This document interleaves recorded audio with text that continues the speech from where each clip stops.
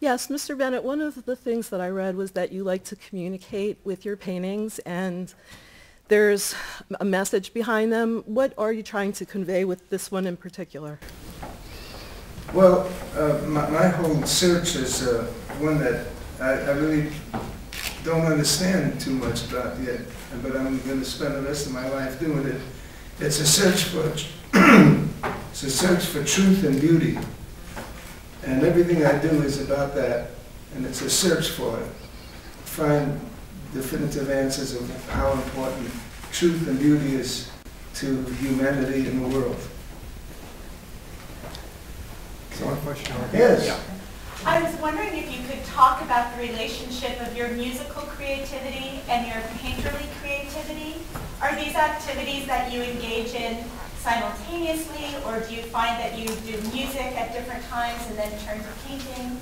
And then finally, I'm curious if you're able to make art, a visual art, while you're traveling and performing. Well, being on the road with Duke Ellington, it was wonderful to listen to him and what he was thinking about. And one of the things he told me to do, and I hadn't realized it, I was always kind of doing it. I, I primarily was performing, but then I would always, always be drawing and studying painting. But he said to me something that changed my life completely. He said, do two things, don't do one. Just like you do with the piano, with two hands. he said, so I, it, it kind of shocked me. I said, how could you do two things? And then I started doing that as an exercise, and I started doing it on a daily basis. Uh, and what happened is it changed my whole life for the better because when you sing a lot, uh, when you travel and packing suitcases and getting to the next town and everything, you, you start getting a little burnt out.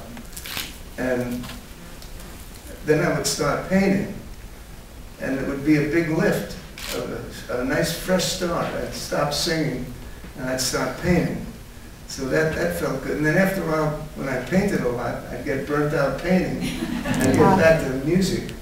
And then I just went back and forth. And what happened is that it, cre it, it created a, a, a, state of, of perpetual creativity. Uh, I, I have no need to ever go on a vacation or to retire because I'm, I'm in this creative zone that, that he instructed me to do, you know, just sing and paint. So when I'm doing one or the other, my life is so full of feeling creative every day about something. Just the search alone uh, makes me so feel so grateful to be alive, and it's made me fall in love with life and and this beautiful gift that, of the earth that we have, that we're alive in this great world. And what a gift it is. That's what it's taught me. And that came from Duke Ellington.